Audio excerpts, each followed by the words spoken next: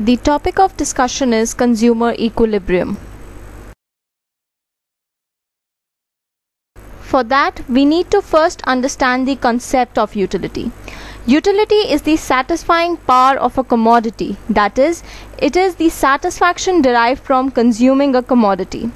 What is total utility? It is the sum total of utilities which is derived after consuming all units. Then we have the concept of marginal utility. It is the change in total utility. Or in simple words, it is the change in total utility achieved by consuming one additional commodity. Mathematically, it is the difference between to total utility derived in period n and total utility derived in period n minus 1. After discussing the concept of total utility and marginal utility, it is important to know the relationship between them. When total utility increases at an increasing rate, marginal utility increases. When total utility increases at a decreasing rate, marginal utility then starts sloping downwards. When total utility reaches maximum, that is at the point of saturation, marginal utility then is zero. Finally, when total utility starts falling, marginal utility becomes negative.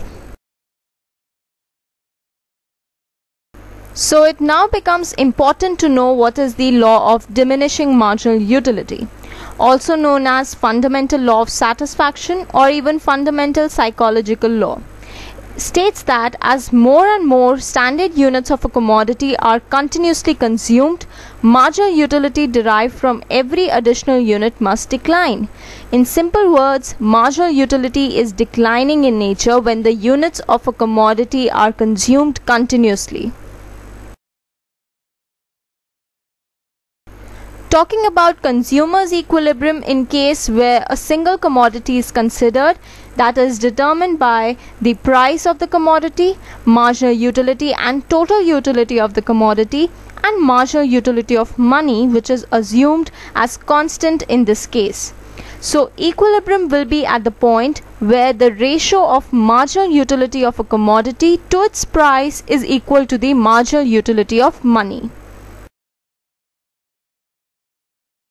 In a two commodity case, equilibrium will be attained where the ratio of marginal utility of a commodity to its price for all the commodities is equal to the marginal utility of money.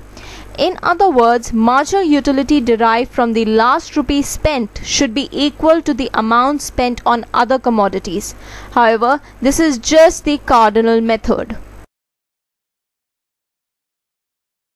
We can find out consumers equilibrium by the technique of indifference curves also. It uses the ordinal approach that is the approach of ranking the commodities on the basis of utilities derived from them. Indifference curve shows the different combinations of two goods when consumed by an individual give him same level of satisfaction. So therefore he is indifferent between all the combinations on the indifference curve. Diagrammatically, it is the downward sloping curve convex to the origin. The slope is the marginal rate of substitution, that is, how much of one good would be given up to consume one additional unit of the other good. It is decreasing from left to right. The properties of indifference curves are as follows. Indifference curves are convex to the origin they are negatively sloped that is sloping downwards from left to right. And two indifference curves never touch or intersect each other. To determine consumers equilibrium, we also need a budget line. It shows different possible combinations of two goods which a consumer can buy with a given income and prices of the two goods. At any point on the budget line, consumer spends all his income. Points above the budget line show unaffordable co combinations. Mathematically, it can be derived as price of x into quantity of x plus price of y into quantity of y is equal to the money income m. The movement of a budget line can take place when there is a decrease or increase in the price of good A. The diagram shows the decrease in the price of good A or decrease or increase in price of good B and the diagram shows the decrease in the price of good B. So consumers equilibrium will be attained where indifference curves and budget line are tangent to each other. Mathematically, the equilibrium will be attained where the ratio of marginal utilities attained from two goods is equal to the marginal rate of substitution. So this was a brief explanation of the topic consumers equilibrium. If you have any more questions, feel free to contact us. Visit our website www.economicsharbor.com or email us at admin at the rate economicsharbor.com.